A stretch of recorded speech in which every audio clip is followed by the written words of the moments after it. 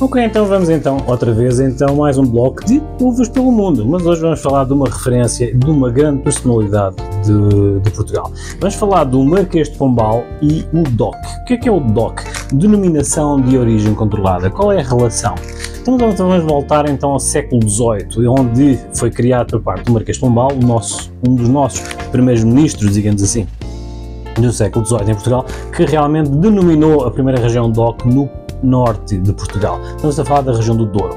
A partir do momento em que houve uma evolução e expansão da produção do vinho de Porto por todo o mundo, tá, a nível de exportação, houve muitas vezes a tentativa de replicar, falsificar e fazer novas produções, denominando exatamente esse líquido ou esse licoroso vinho como o Porto. Mas realmente, como se tentou fazer várias falsificações, digamos assim, ou duplicações dessa produção, Marquês de Pombal, então no século XVIII, como eu comentei, e denominou então a primeira referência de DOC ou denominação de origem controlada para que fosse e tivesse esse selo de qualidade e referência nacional, para que, de alguma forma, a nível de exportação e comércio internacional, houvesse essa questão de selo de qualidade e de referência de credibilidade que realmente foi produzido, lá está, e todo o processo de transformação, plantação, colheita e produção em Portugal, realmente na região do Douro. Convém então essa denominação do século XVIII foi a primeira criação, digamos assim, a nível mundial, que podemos dizer que houvesse essa referência para que todos os países em volta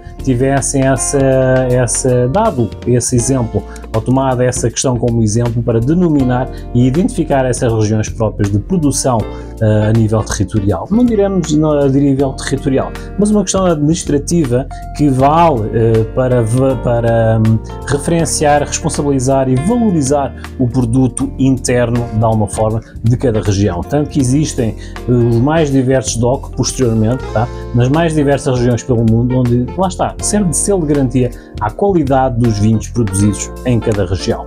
Lá está, estas e outras histórias, como vêem, como eu costumo dizer, nada do que é passado não pode ser presente e será sempre contemporâneo. Estas e outras histórias no YouTube, acompanham lá, é gratuito e a gerência agradece. Então, até um próximo episódio. Tchau, tchau.